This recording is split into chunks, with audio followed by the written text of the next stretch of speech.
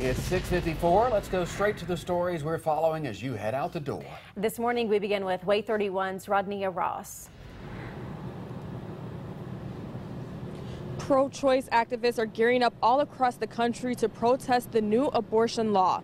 And this weekend, there will be protests here in the Tennessee Valley. The March for Reproductive Freedom will be at the Madison County Courthouse on Sunday at 4 p.m. Another march will be in the Shoals also on Sunday at the post office on Seminary Street. There will also be protests in Montgomery and Birmingham. Those protesting the new law fear the law is setting women back. Casey?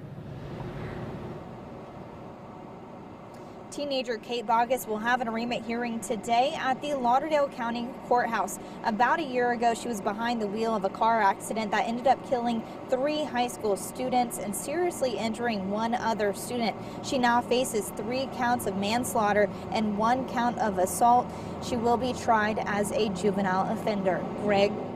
The police chief in Falkville resigned during an ongoing FBI investigation. WAAY 31 found out money played a role in Chris Free's resignation. His lawyer would not say if the investigation was connected to the resignation or if there might be other issues involved. Major changes are coming to the Huntsville public transit system. Starting July 1st, the city will add a Saturday bus service from 7 in the morning until 7 in the evening. Weekday service will also be extended to 9 o'clock in the evenings. Routes are also expected to be restructured, meaning buses will start coming to areas with more riders. President Trump says he hopes the U.S. is not on a path to war with Iran. Pakistan's foreign ministry has urged the U.S. and Iran to resolve their issues through talks to avoid conflict.